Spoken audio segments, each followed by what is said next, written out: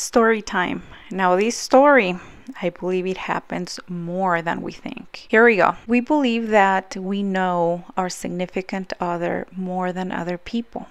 However, in less than a year or maybe a few months, our reality could change dramatically because you discover something else that you would never believe that your loved one would do to you. Right after I got married, I started finding lipstick on my shirts and also napkins with lipstick in my pockets.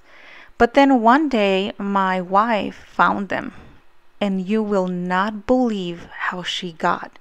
She was going crazy. She said that that lipstick color wasn't her, and she even told me that she was gonna leave me. I swore that I had no idea how those got in my pockets. And one day I opened up her drawer and I found a lot of those napkins with a lipstick on it. I was, I don't even know, I was frozen. I didn't know what to think.